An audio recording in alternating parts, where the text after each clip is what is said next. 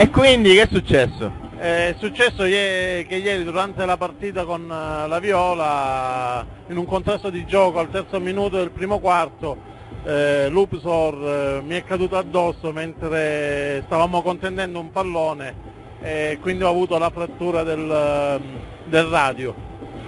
Quanto tempo dovremo aspettare? Allora, il gesso dovrò tenerlo per 30 giorni, eh, dopo ci sarà il periodo di riabilitazione, però credo che per l'inizio, diciamo per la fine, dopo la fine della fase regolare dovrò essere in campo di nuovo. Ma stai pensando ad un ritiro o quello è l'ultimo dei tuoi pensieri? Non se ne parla proprio, io sono duro a morire. Come sta la tua squadra? L'abbiamo vista un po' spenta. Guarda, eh, diciamo che abbiamo avuto un'involuzione da quando abbiamo perso Massimo per infortunio.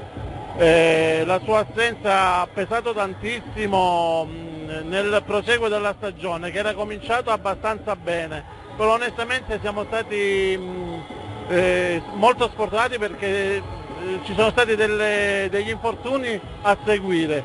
Prima Benedetto, dopo Massimo e adesso io, e adesso il mio infortunio e quindi sta condizionando parecchio il nostro, il nostro campionato. Sinceramente, quanto ti mancherà il campo di gioco per questi mesi? Vabbè, lo sai, giocare a basket per me è fondamentale, la pallacanestro ormai è diventato pane quotidiano per me e quindi non potermi allenare, non essere, diciamo che sarò sempre assieme ai miei compagni perché seguirò gli allenamenti ugualmente eh, seguirò la squadra anche nelle trasferte, però il basket giocato è molto differente dal basket frequentato. Quindi per il momento non avremo né il Santucci arbitro né il Santucci giocatore.